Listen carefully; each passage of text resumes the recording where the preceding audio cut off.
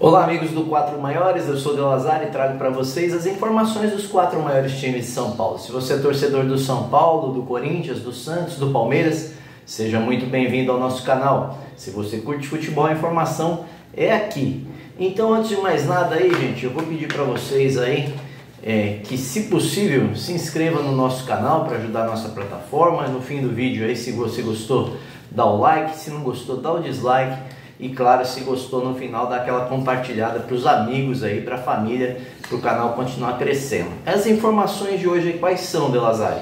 Teremos informações curtas aqui do Palmeiras, do Santos, do São Paulo e o pré-jogo do Corinthians, além, é claro, de todos os jogos que teremos pela Sul-Americana e pela Libertadores nesta semana. Então vamos começar aí pelo Palmeiras. O Palmeiras viajou até Pereira ontem, no seu avião aí no avião da Leila. Viagem direta, uma viagem de 6 horas. É, o Palmeiras economizou 1 milhão e 200 mil reais com essa viagem aí, tá? Que a Leila está bancando. E chegou tudo bem lá ontem, na noite de ontem. Treina nesta terça-feira, se preparando para o jogo de amanhã contra o Deportivo Pereira, às 21 horas e 30 minutos. Jogou ao vivo pela TV Globo e eu trago para vocês aqui amanhã o pré-jogo do Palmeiras, tá? Então amanhã pré-jogo do Palmeiras. O Santos. Pelos lados do Santos, Santos se reencontrou com a vitória no Campeonato Brasileiro e deixou uma pulguinha atrás da orelha de Aguirre. Ele que não utilizou Soteudo de cara no jogo, entrou com Soteudo no segundo tempo. Soteudo resolveu a questão, duas assistências, dois gols, a virada do Santos e Soteudo ganha no campo a sua chance de ser titular novamente. Então provavelmente Aguirre deve usar Soteldo como titular no jogo diante é, do Campeonato Brasileiro, diante do Atlético Mineiro no sábado, lá na estreia da Arena do Galo. Tá? E o, o Marcos Leonardo definitivamente vai ficar na Roma, na, no Santos. Não negociou ainda com a Roma, tá? O Santos pediu um pouco mais de verba e convenceu o jogador a ficar. O jogador fez com o Santos nesse ano aqui é, em campeonatos brasileiros 14 jogos. Ele fez 8, 8 gols, é o artilheiro do time. Ele se tornou vice-artilheiro do Campeonato Brasileiro com 8 gols, mas ontem o Vitor Roque fez o nono gol e ultrapassou ele. Aliás, o golaço do Vitor Roque ontem.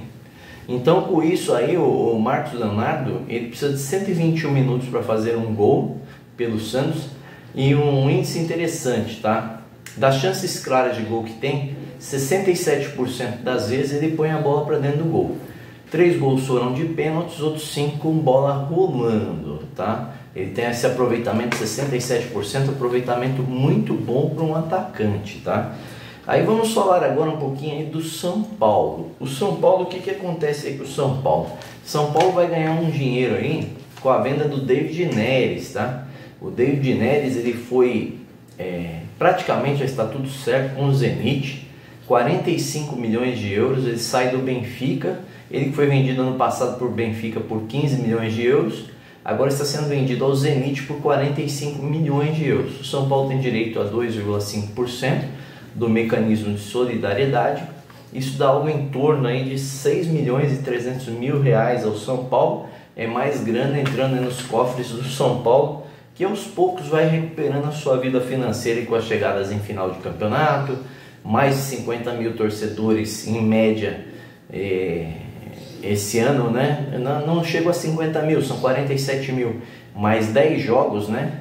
Com mais de 50 mil pessoas direto no Morumbi e comenta-se até aí da ampliação do anel inferior, levando a, a arquibancada inferior até a pista de atletismo, tá?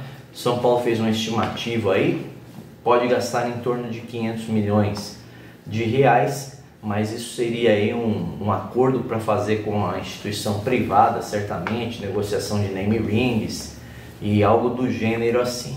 Então São Paulo estuda essa possibilidade aí, não fica descartado. Esse é o sonho do presidente Júlio Casares, tá? O Pablo Maia ontem não treinou, ele que saiu do jogo no, no fim de semana contra o Botafogo com 9 minutos de partida, ele teve ali um, um mal-estar, né? Não foi detectado ainda que ele teve. O que foi que aconteceu? Ele, ele simplesmente não treinou ontem. É dúvida para o jogo de quinta-feira contra a LDU lá em Quito, tá?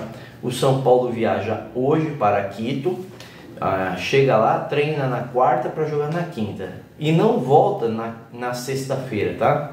Ele volta somente no sábado pela manhã, um voo direto, um voo fretado também, mas é um voo direto para BH, tá? Ele vai direto para BH enfrentar o América Mineiro. Então, o São Paulo que viaja hoje só deve voltar a São Paulo no domingo à noite. Aí folga para os jogadores, algo do gênero assim, para pensar na partida de volta contra a LDU semana que vem. Agora vamos falar aí do Corinthians, tá? Mas é uma coisa do Corinthians aí, antes de falar do pré-jogo, a gente precisa falar duas coisas. A primeira, ser breve, que é do Adson. O Adson é, foi vendido ao Nantes, faz exames médicos hoje, viajou ontem. O Corinthians tem direito a 50% do passe do jogador, é, a 70%. Mas vendeu 50% por 5 milhões de euros, ficou com 20 milhões para uma venda futura. O Adson não joga mais pelo Corinthians. A segunda questão aí é dar os parabéns ao Corinthians, tá? É, pela atitude aí, principalmente através do, do Anderson Araújo, ele que é o assessor de responsabilidade social e cidadania do Corinthians, é, ele tem participado aí ativamente das questões com os acidentados lá do, do, do ônibus, né? Da trágica do trágico acidente que teve com o ônibus do Corinthians, lá da, da torcida do Corinthians, vindo de Belo Horizonte para a região de Pindamonhangaba, São José dos Campos. Nós sabemos que tivemos 36 feridos, 7 mortos, 9 estão internados ainda, né? O pessoal ficou nas, nas ferragens. Tem um caso em estado grave, tá? É, ainda, é, seguindo os boletins médicos para ver o que acontece o negócio não foi fácil. E o Corinthians o que, que fez, né? Ele até agora gastou cerca de 50 mil reais, ele que tem pago os funerais dos, dos falecidos, as suas famílias, está ajudando aí, ajudando com o translado dos corpos aí com a negociação com a prefeitura, e ele colocou à disposição vans para trazer os jogadores, os, os jogadores, os torcedores, aliás, que se feriram e que ficaram lá e que ainda não vieram, o Corinthians colocou à disposição. E colocou também à disposição qualquer translado hospitalar que tenha a fazer com esses nove torcedores que ainda se encontram internados. O Corinthians então vai fazer a cobertura total dessas despesas desses torcedores aí, com funeral, translado hospitalar e translado para suas casas. Parabéns aí ao Corinthians pela atitude Parabéns ao assessor Anderson Araújo, hein? Não parece muito, mas é, no momento da dor e das famílias, algo inesperado, né? É, é de grande ajuda, né? De grande valia. Lembrando que faleceram quatro torcedores da torcida Coringão Chopp e três torcedores da Gaviões da Fiel. A Gaviões da Fiel fez três bandeiras em homenagem aos três falecidos, né? O José, o Mineiro e o, e o Alan tá? E deve hoje abrir essas bandeiras lá no estádio da Neoquímica Arena para o jogo contra o Estudiantes pela Sul-Americana. O pré-jogo do Corinthians aí, Corinthians deve estar todos os titulares em campo hoje para enfrentar o Estudiantes às 21 horas e 30, jogo transmitido pelo SBT e SPN Star Mais. E não contará com Fagner, tá? Fagner sente dores na panturrilha direita, não joga no seu lugar Bruno Mendes, qual o provável Corinthians aí para o jogo de hoje, tá? Teremos aí Cássio, Bruno Mendes, Gil, Murilo, Fábio Santos, Moscardo, Maicon, Renato Augusto, Rojas, Wesley e Yuri Alberto. Então, com a entrada aí de Rojas, quem perde a vaga é Juan Oliveira. O Estudiantes, por sua vez, é, terá Andajur, Godoy, Nunes, Lolo, Mancuso, Rodrigues, Ascacibar, Zac, Zapiola, é, Rodeiser e Bocelli, Bocelli aliás, né? É, que foi jogador do Corinthians. A arbitragem será do venezuelano Jesus Valenzuela, nas bandeiras Jorge Orego, Túlio Moreno e no VAR o chileno Ângelo Hermosilla, tá bom? Então essas foram as informações dos quatro maiores aí. Agora vamos aí para os jogos que teremos pela Sul-Americana.